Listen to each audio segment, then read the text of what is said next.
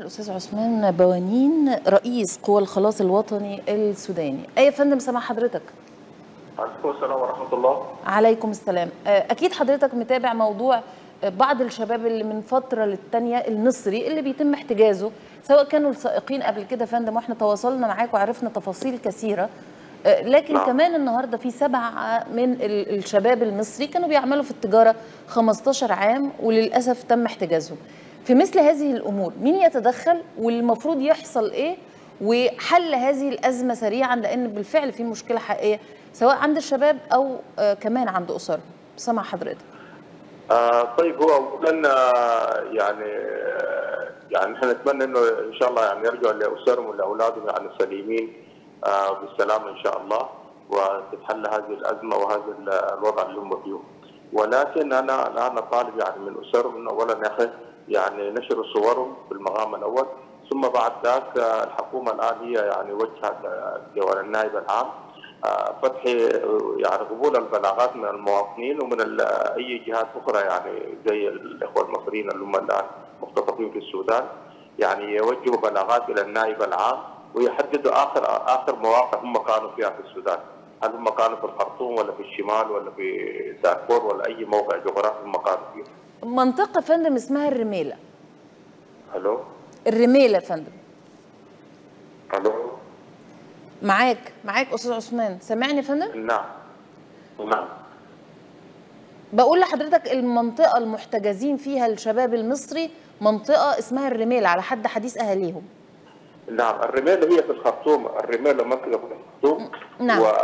لكن يعني أنا اطمن اسرهم لغاية الآن يعني في نفس المنطقة بتاعت الخرطوم ما في أي يمكن يعني يعني ضرر حصل على أي يمكن يعني من الأخوان المصريين أو أي جهة أخرى آه، من الدول العربية والشرقية. آه، احتمال هم بس يكونوا محتجزين فقط يعني ولكن يعني الآن تم تطهير تلك المنطقة منطقة الرميل ومنطقة الشجره وهذه المناطق يعني تم تطهيرها من ال- ال- ال- الدعامة وكذا والآن هي تحت سيطرة القوات المسلحة. نعم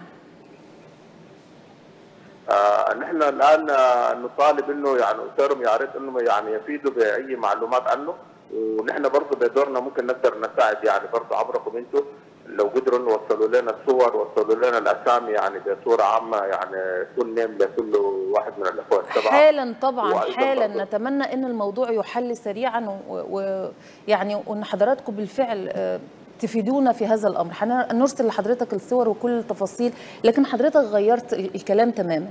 الأهالي معتقدين الأهالي ال- ال- للشباب اللي هم عايشين في مصر معتقدين إن آه، الشباب دول أو أبنائهم عند قوات الدعم السريع فندم حضرتك بتقول إن هم عند الجيش وده من المفترض يكون أسهل في آه، رجوعهم مرة تانية للوطن. ركز كلام أنا ما قلت أنا عند الجيش محتجزين. قلت لك هم كانوا محتجزين عند الدعم السريع ولكن الآن تم تطهير المنطقة ديك من الدعامة.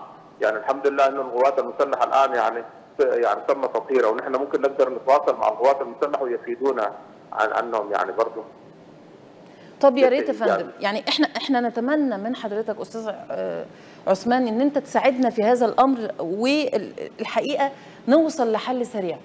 أكيد لا الشباب إن شاء الله. أنتم فيدونا بالصور وفيدونا بالأسامي بتاعتهم السبعة والمنطقة اللي هم كانوا موجودين فوق وإن شاء الله نقدر يعني برضه نساعد. وأيضا برضه ممكن نوصل اسرهم انه بالنائب العام يعني يسجلوا بلاغات رسمية يعني. ممتاز ممتاز يا فندم.